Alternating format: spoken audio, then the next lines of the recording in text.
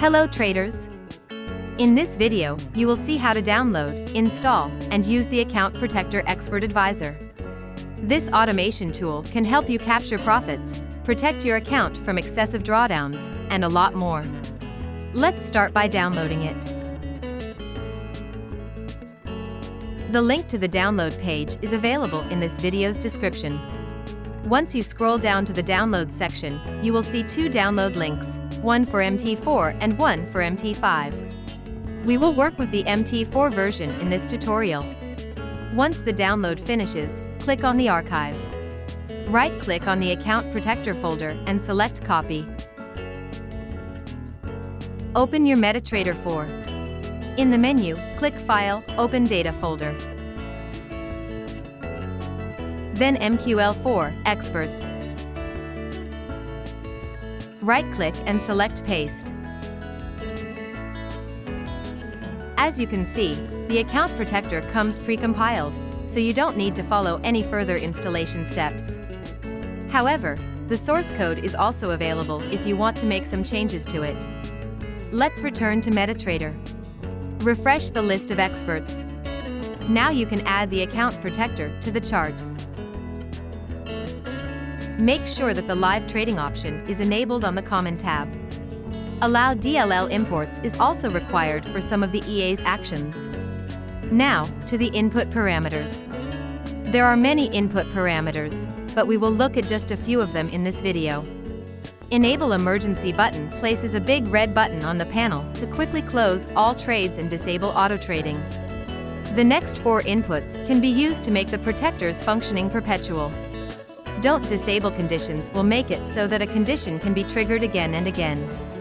Don't disable actions lets the AP to execute the same actions when triggered again. Don't disable equity trailing stop makes the trailing stop continuous, restarting it upon each triggering. Don't disable timer makes the timer cyclical.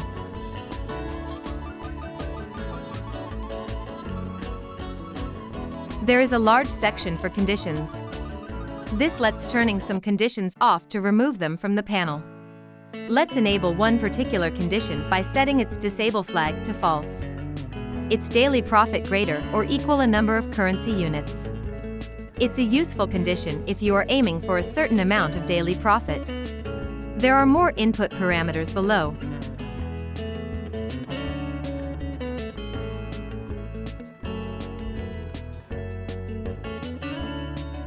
For example, here's the one that switches the equity trailing stop from using currency units to percentage points.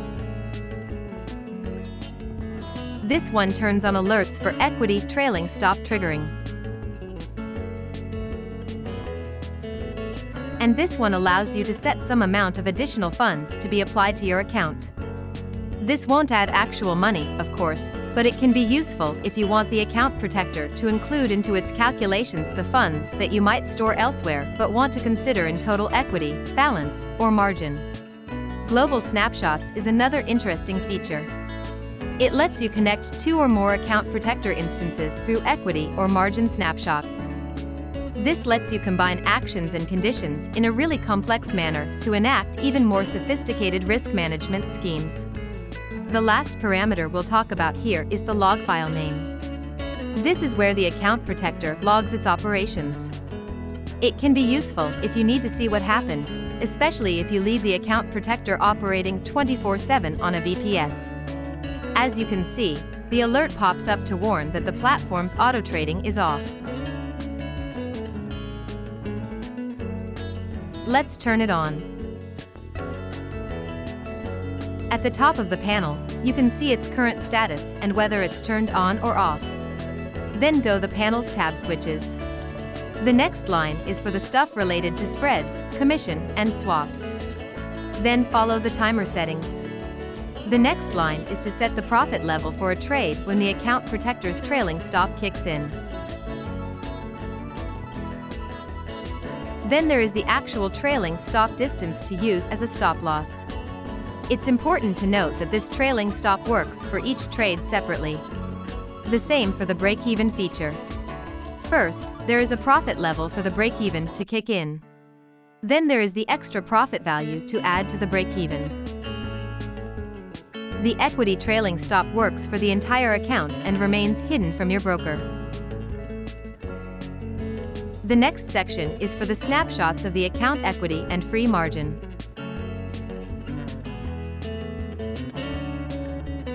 And finally, there is the emergency button.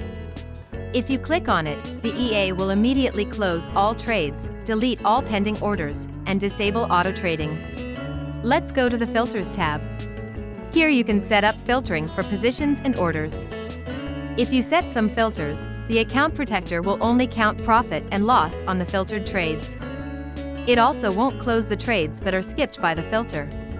You can filter by magic numbers, by trading instruments. You can also filter by order commentary, by losing or profitable trades, and, of course, by direction. There is also a button to quickly reset all the filters. Moving on to the Conditions tab, here you can set the conditions that the account protector will check and execute certain actions if they are fulfilled. Let's set the daily profit loss condition that we enabled earlier via the input parameters. The value is in the currency units, which in this case means USD. Let's also set a condition for a loss. This one will trigger if the equity goes below the certain percentage of its snapshot. Setting 99 there makes it so that it will trigger when the equity goes down to 99% of 5,000 US dollars, which means 4,950 US dollars. Let's go to actions. As you can see, once we set up the conditions, the status has changed to no actions. Here you can set the account protector to close all trades. Delete all pending orders. Disable auto trading. Send an email notification. Send a push notification. Close the platform. Enable auto trading. Recapture the equity and margin snapshots. Close all other charts, except the current one. Let's set the close all trades. Delete pending orders. Send email. And disable auto trading. As you can see, the status has changed to OK but turned off. If we click the switch button, the account protector becomes fully operational. We can now open a test trade to see how it works.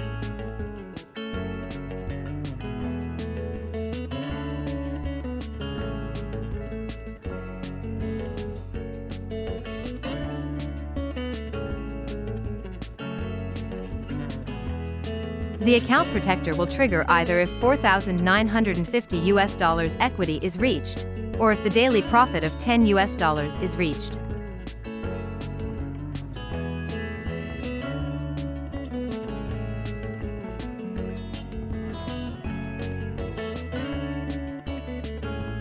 If either of the two conditions is satisfied, the expert advisor will use the following four actions.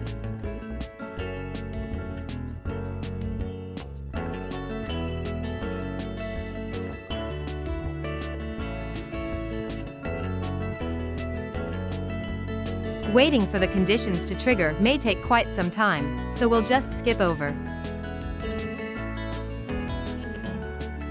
And it's gone. Once the loss on the position grew to 50 US dollars, the condition triggered and all four actions that we had set up executed. As you can see, auto trading is now off.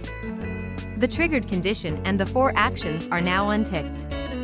The account protector is still on, but its status has changed to triggered also showing the date and time of triggering. That's all for this account protector tutorial. Thanks for watching. Stay tuned for our future videos.